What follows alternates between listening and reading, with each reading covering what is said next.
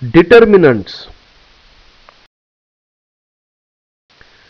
In this chapter, first we have to learn Introduction to Determinants. Let the two equations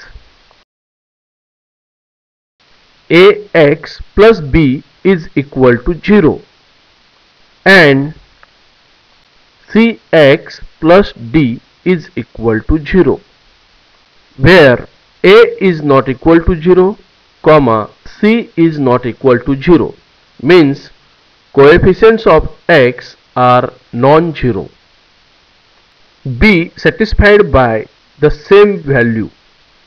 That is these two equations have common solutions.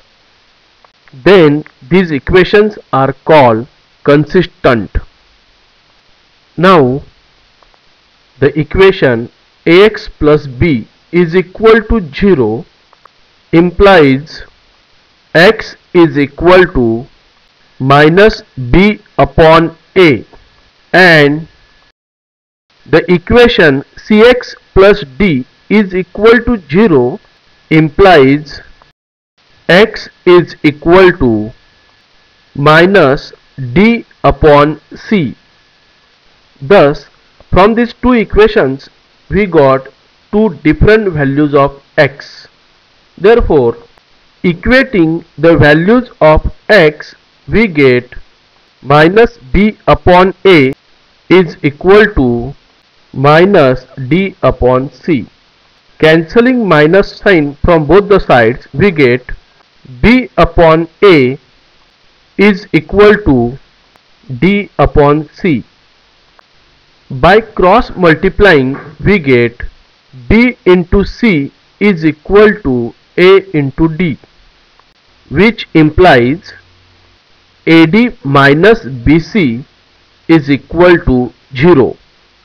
This expression AD minus BC is called eliminant for the equation AX plus B is equal to 0 and CX plus D is equal to 0.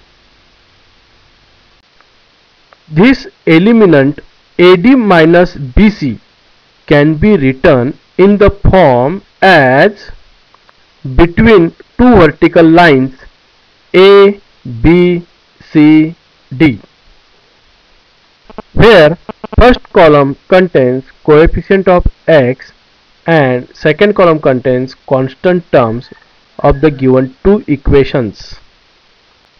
This expression is called determinant of order 2 and the value of this determinant is AD minus BC. For better understanding, take a pause here and write down all these points in your notebook.